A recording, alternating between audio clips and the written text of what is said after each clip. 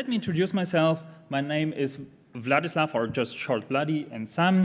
We are security researcher at the university in Bochum, and we will talk to, uh, today about the security of PDF signatures. But before I start hacking stuff and breaking stuff, let me introduce ourselves and uh, how do we work, why PDFs are so interesting for us. So at the beginning, um, we are researchers and we need to publish our work. And um, basically, we need to motivate. We write papers and uh, submit them to peer-reviewed conferences. They are reviewed by security experts, not PDF experts. And the first comments, the first papers were rejected with the comment, who cares about PDF signatures, uh, who uses them, and we needed to motivate um, this part uh, much better. So we start searching for um, yeah, uh, concrete numbers, companies they are using it. And it's quite hard to find such kind of information. So basically, we grabbed the Adobe financial report to get some concrete numbers. And this is a lot of work because it's a financial report, not intended to, to present some concrete numbers. So you're the PDF community. And if you, if you ask me what I want to, to see as data provided by you, these are concrete numbers, who uses it, how much users use PDFs, PDF signatures, PDF encryption, and so on and so forth. I saw today um, so much information about you have the numbers, but you don't publish it. So try to, to do it. Um, it makes our life much, much easier. And um, as far, I enjoyed reading the financial report, but there are more efficient ways to do it. Okay, um, but from, from researcher point of view, why we focus on PDFs? Because usually, if you are security expert, you need to break stuff. And um, if you break one application, this is just a pen test. You get paid for it and then forget about it. From scientific point of view, you need to generalize problems. So you need more applications. And this is the way um, why PDFs are important for us. They're libraries, applications, services, and so on and so forth. So we can do some hacking stuff, generalize, extract core issues, and submit them to a scientific conference. This is our contribution. And for this reason, this was quite interesting for us, and we didn't have to search much to find such kind of applications. From security point of view, PDF supports a lot of features. This doesn't mean that these features are automatically leading to security issues, but they increase the surface we can use for attack. For example, we have interactive features, we have, of course, JavaScript, and we have even multimedia like 3D, audio, video, and so forth. So again, this does not mean that these features are dangerous, but they just increase the surface which we can use to carry out different attacks. And even more interesting, PDF support cryptography. They can be encrypted and they can be also digitally signed. So for security experts, there is a lot of area where we can concentrate on and move around and try uh, to bypass stuff. Okay, so let's talk about more about security. So it's a PDF, what could go wrong? Um, let me do a short round, uh, a road trip uh, about the security of PDFs. I will miss a lot of related work. I will concentrate on the most important parts. In 2001, the first PDF-based virus was uh, published. This was the Peachy virus. It was the Visual Basic uh, script um, embedded into PDF files. It was a game um, convincing users to click on a link and uh, carry out some malicious code or execute some malicious code. Um, in 2003, the first um, JavaScript-based virus was uh, published, and this was um, vulnerability in the parsing engine of the JavaScript. So basically, um, uh, malicious file was stored in the plugin folder of Adobe and executed every time Adobe Reader was started. And so on, uh, the malicious code was carried out every time the, the reader was used. After that, um, in 2007 and 2008, the first insecure features was, in, uh, was um, abused. Insecure feature means, we mean that legitimate features introduced by the PDF specification were used for bad stuff. Uh, for example, to execute code, to invoke some URLs, and so on and so forth. And this was you, um, this was uh, this were a black hat talk, so they uh, the researchers concentrated on isolated um, problems, um, which we later kept up uh, and uh, provide a more comprehensive analysis. In the, uh, in the, next years, as you can see, even in 2018, um, such kind of insecure features were uh, discovered or reported on different applications.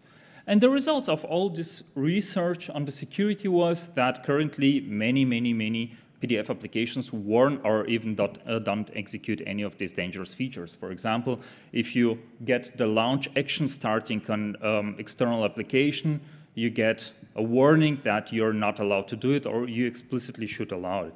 Or if you want to call some uh, URLs, then you get a warning before um, th this URL is called. Also, if JavaScript is embedded, then you get also a warning um, of course, depend on the application you use. Okay, then what happened um, also in 2000 or between uh, 2001 and 2018?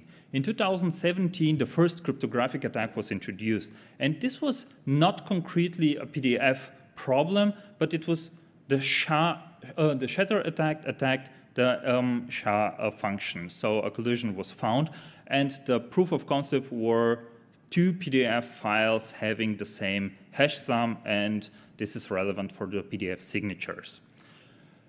And then in 2019, we published our first work. So the motivation of our work was uh, we got a contract from the European Commission, we opened it, and we got a lot of warnings during the signature validation. And our boss asked us, how does it work, why we get such kind of warnings we, that we didn't have a clue about PDFs. We didn't know anything about how it works, and we started investigating. And two years later, we published our um, first paper. So let's take a look what we did. This is a simple attack which worked, and we prepared a short video.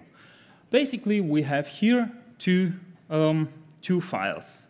I need to see if it works.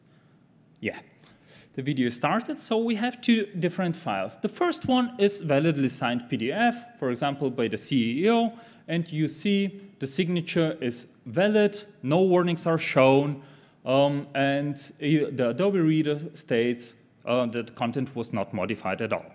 Okay, and we have the second one, um, which has it, not, it is not signed, and it has the, the text manipulated by the attacker. Now we will use the best hacking tool for PDFs. As mentioned yesterday, we used Notepad++. And on the left side, you see the signed document. On the right side, you see the malicious one. So first, we need to find where the content um, is defined. And see, uh, as you can see, this is in the object 38. So on the right side, we have the malicious one, and this object contains the manipulated by attacker. So this is our content, it's encoded or zipped. Um, and now we will just copy paste the malicious content into the sign um, document. So this happens here. Okay, so probably you will, you should assume that if we do such kind of stuff, we will break the signature, right? It should not possible. And this is correct. So let's start the document, we open it, and as you can see, first we exchanged here the content. Perfectly fine, and the reader says, um, the signature is not valid, you tampered uh, the content. Perfectly fine. It works like it should be. So let's try to carry out one attack.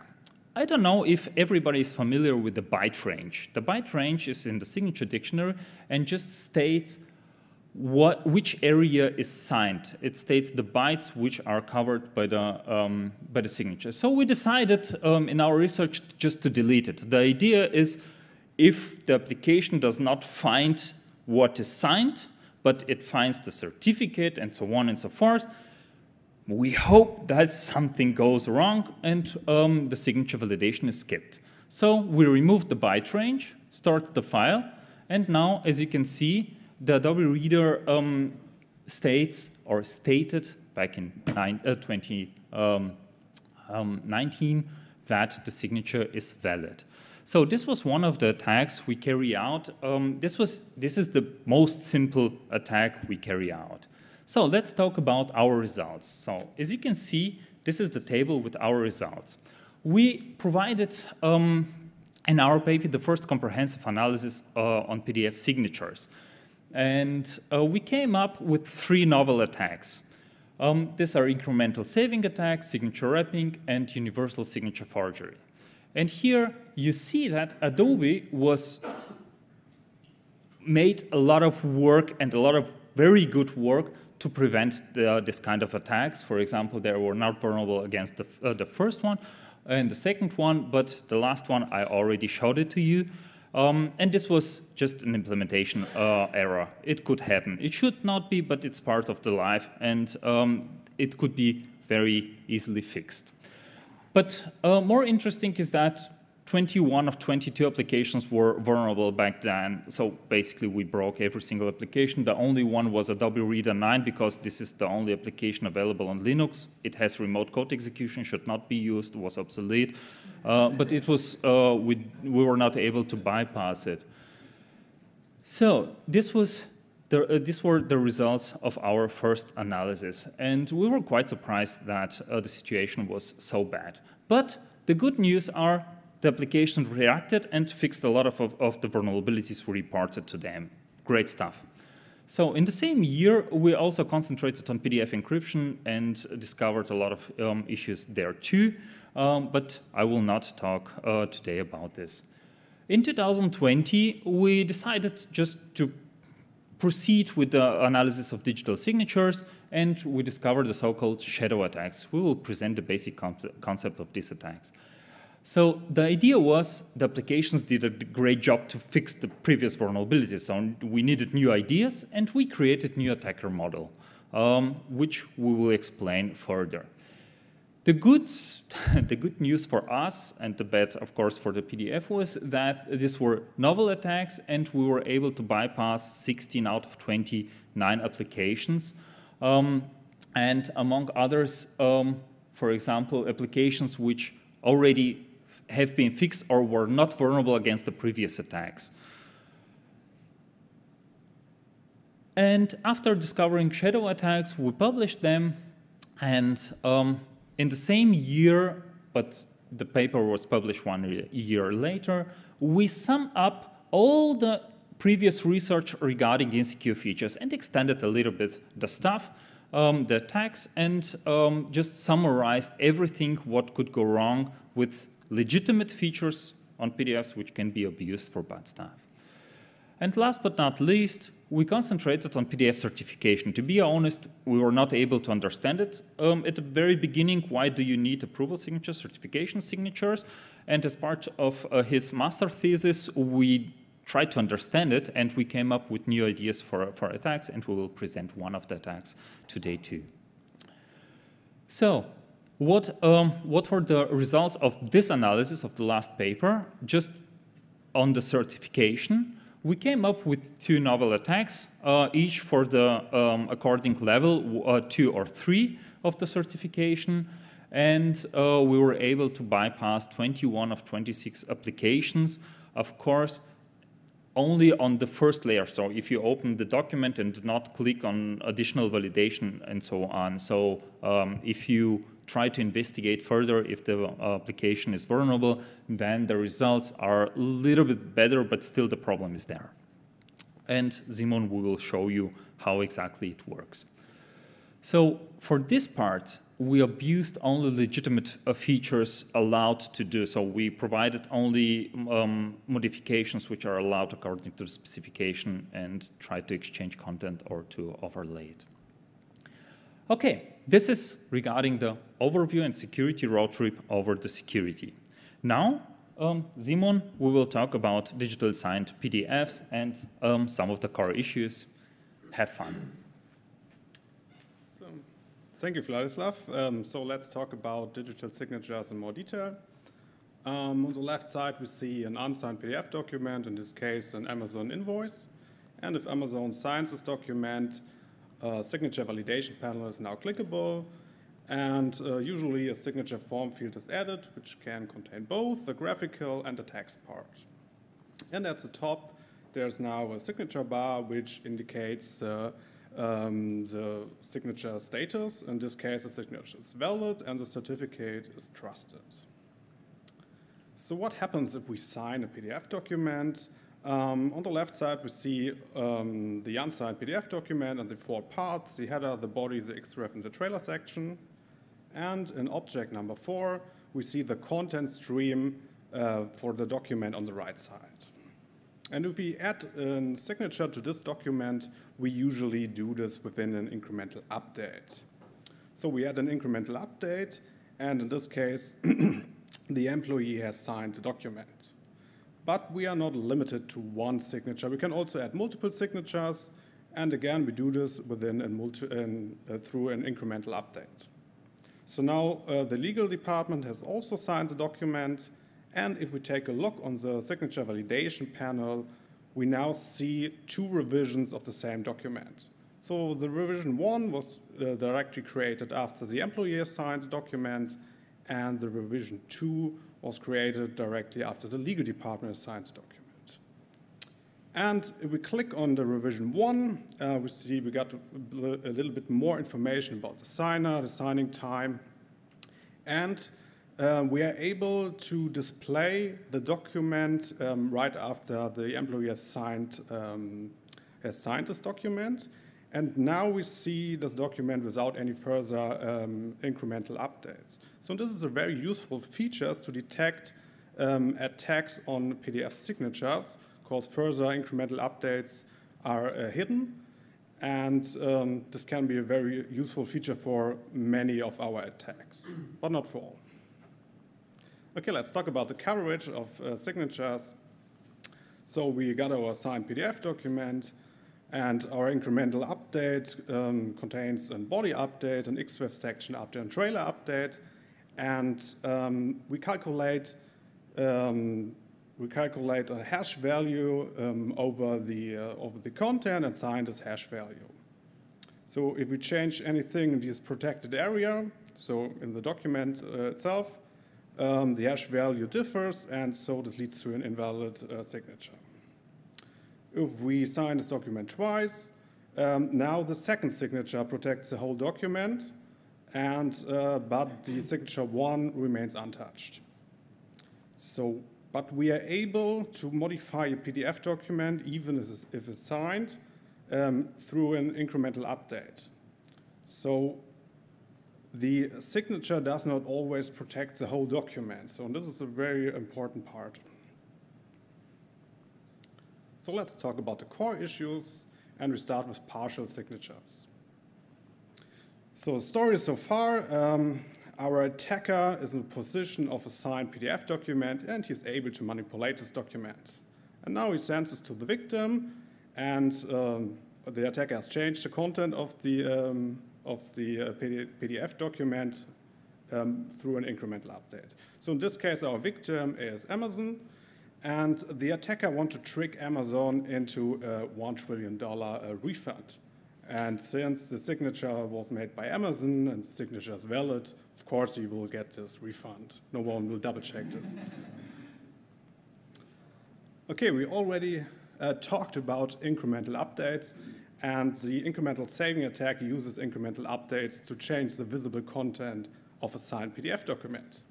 So our starting point is a signed PDF document and the attacker now um, adds a malicious body update, malicious XREF section, malicious trailer through an incremental update or a combination of these parts. And um, if we take a look on this document, we see again the four parts and uh, the object number four contains the content stream. So now the attacker wants to trick an employee and thinking he signs this document to get a reward um, but he signs his own resignation. So, so the employee uh, wants his reward, of course, and signs his document, and now the attacker changes exactly the, uh, the object number four, which contains original the, uh, the content of, um, of this document, to now your fire get out immediately. So this one is one simple uh, attack vector of the incremental saving attack. We got more complex one. Okay, and yeah, uh, incremental saving attack was uh, one of three uh, attack classes in the paper, CCS paper from 2019. So in 2021, um, we introduced a new attack class called shadow attacks, and now the attacker hides content uh, within, uh, into uh, the unsigned PDF document. So before the document is signed, the attacker uh, places some hidden content, which is not shown to the victim or not displayed to the victim. He now sends this document to uh, the employee or to the victim, in our case, again, the employee, and of course he wants his reward and sign this document. And sends this back to the attacker, and now the attacker um, um, makes the hidden content visible. So the original content is hidden and the shadow content is now visible. And again, you're fired, get out immediately employee. So uh, our next core issue for today is the verification versus rendering problem. So uh, very useful features in PDFs are annotations. So we can use the stamp annotation to place an image as big as we want anywhere in the document, and we add, uh, can add uh, free text comments uh, which means we can add text to the document. So this can be used on certified documents per level, uh, level P3, uh, permission level P3, um, but if the application do not check this permission level correctly, um, we can do this in P1 and P2 levels, uh, which in our analysis, analysis there were uh, 11 of, out of 26 applications that do not check this level uh, correctly. It's just an annotation, but go wrong. Um, now the attacker wants to um, change the transfer data um, or replace the transfer data with his own bank account information. So he places a white image using a stamp annotation to hide his original content. And in the next step, he adds some free text uh, annotation to add his own bank account information. And since this uh, modification is allowed through uh, the uh, permission level, uh, the, uh, the signature is still valid, but uh, different content is displayed to the victim. We already talked about the UI layer 1, which is the signature bar, and the UI layer 2, which is the signature validation panel. But in the context of evil annotation attacks, another UI layer is relevant. So the UI layer 3 uh, contains a list of annotations that will added to the document. And of course, a smart user can detect these uh, changes and will not trust this document anymore. But we found a solution for this problem by just um, uh, change the, the type of the annotation to one that is not specified by the specification. So we changed free text to null, and now the list is empty. Okay, for the next topic, I hand back to Vladislav. Thank you. Yeah, thanks. So we have now the, core, the two core issues, the partial signatures and the signature values. Perhaps you might think PDFs are broken, and this is the only format which is currently having problems with digital signatures. That's the reason why we included this section, just to relax you. And um, Simon got bored uh, after the PDF attacks on signatures and uh, took a look on ODFs on an open document format. Uh, it's an XML-based, has it's completely different than PDF, and we were able also to find uh, vulnerabilities there um, by manipulating, allowing us to manipulate arbitrary content and even execute uh, malicious, um, malicious code. Um, then we concentrated on the Office Open XML, and this will be published next year, so don't ask me about details for the next two months. Um, but still, they have also a lot of issues uh, there. Uh, so it's not a problem of the PDF specification. It's, it's a problem which should be triggered now and should be addressed um, on for basically every single document format handling PDF signature, um, digital signatures. So, what have we learned in the last years?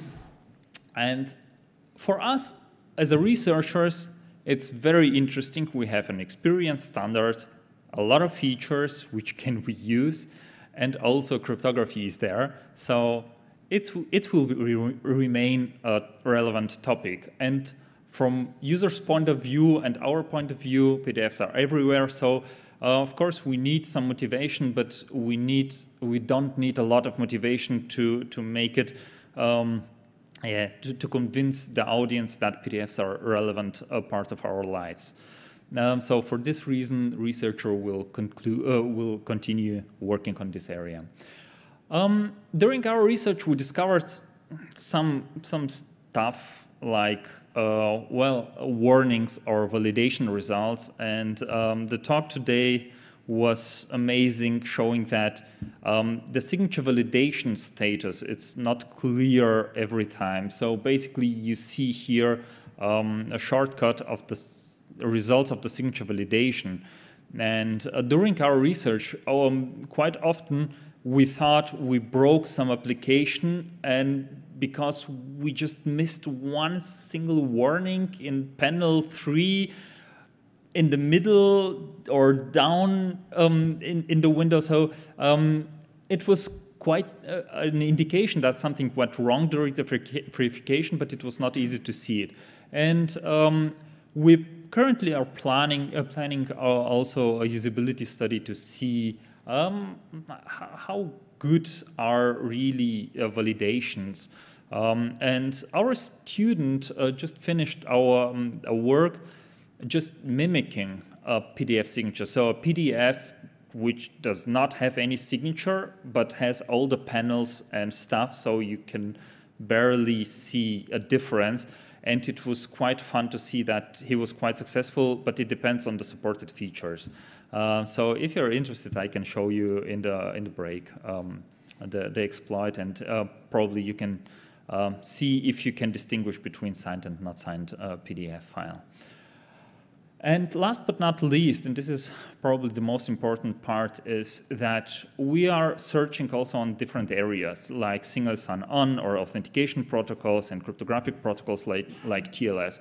It is, it is very easy for security experts to, if we find some vulnerabilities, we just report them and, say, and tell the people see the best current practices regarding TLS or some other protocol, you violate step five in section six um, and just try to implement it better.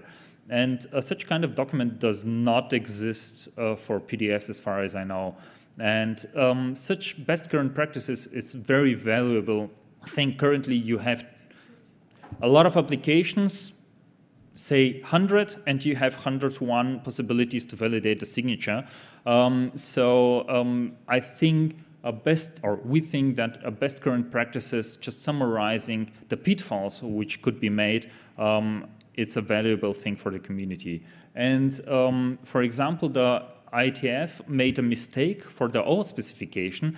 They finalized their security considerations. So they published an RFC and they recognized that this was a very bad idea because security moves forward and they are not able to update the security considerations. So for this reason, they published a draft and they never finalized this draft. So it, it's, it's going to be for, for, for um, for always a draft and they update it every time some crazy guys report some new attacks and they include um, also the new security considerations. So it's a living document um, they can update.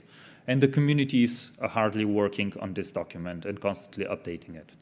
So if you're more interested on attacks or on exploits which we reported, we uh, deployed everything, every single information about PDF signatures publicly available, or our exploits are also updated, and so on. So you can update, uh, up, download the exploits, download the vulnerable versions of the software, and just have fun with them.